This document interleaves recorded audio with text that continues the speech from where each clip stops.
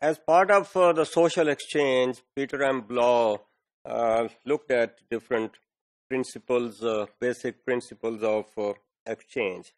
And one of the principle or one of the basis uh, uh, has been suggested as rationality. So rationality is logic which emerges on the basis of the outcome of the exchange. And this rationality uh, implies the profit people expect from one another in emitting a particular activity, the more likely they are to emit that activity. So the rationality logic is that since uh, for the first time there was interaction, some interaction has taken place, and it has been rewarding, satisfactory to both the parties, then they uh, try to repeat that kind of situation, repeat the interaction, because they assume that this interaction uh, helps in the satisfaction of uh, their needs. So uh, this could be considered as a utilitarian kind of uh, approach, and this utilitarian approach is based on on let's say reasoning uh, logic or rationality for its emergence or for its continuation. Then, on the basis of this, uh, uh, let's say, uh, attraction or uh, utilitarian kind of, let us say, approach or um, these satisfaction of the needs, we see that there is another principle which is called reciprocity principle.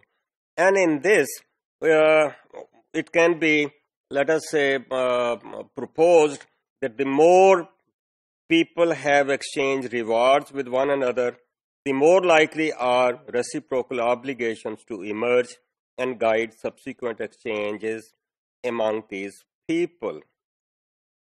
So, if uh, if the first interaction has been uh, utilitarian it has been rewarding, then uh, the assumption is that that kind of interaction is to be repeated because uh, both the parties consider that it is helpful, it's useful, it's satisfying.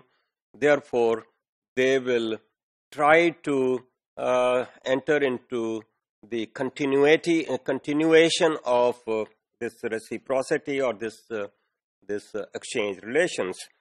So this might be uh, simply based on, uh, let's say, attraction, because uh, the interaction is rewarding. So that reward makes these two parties or two entities to be uh, continuing in the interaction. So it is uh, more like social at attraction. Now, when I am using the word one person and another person, it could be group of persons, another group of persons, two persons interacting, another another two persons. No, it is uh, uh, just for the sake of example. We also see that the more the reciprocal obligations of an exchange relationship are violated, the more disposed the deprived parties are to sanction negatively those violating the norms of reciprocity.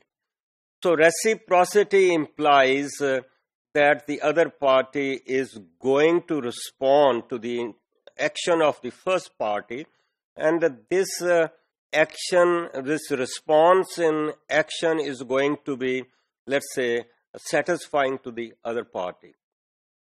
Now, this is uh, an exchange. If one party thinks that its response is uh, not adequate, uh, it is not um, uh, getting the expected reward, then person feels little upset, might uh, think in terms of, uh, let's say, uh, deprivation.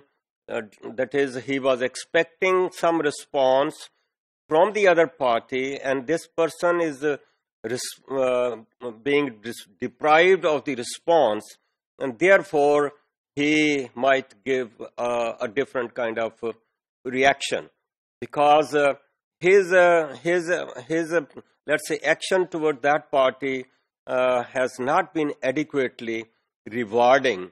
And this reward is not there simply because the other party has not come up to the expectation of the first party. And therefore, there can be some kind of imbalance. And imbalance uh, is uh, uh, the, the interacting parties are reacting towards this imbalance. And particularly when somebody considers that uh, the reward is not satisfying to that person, he or she is going to react negatively uh, against the first party. So that is how it can lead to some kind of, uh, let's say, conflict if the recipro reciprocity is uh, not there.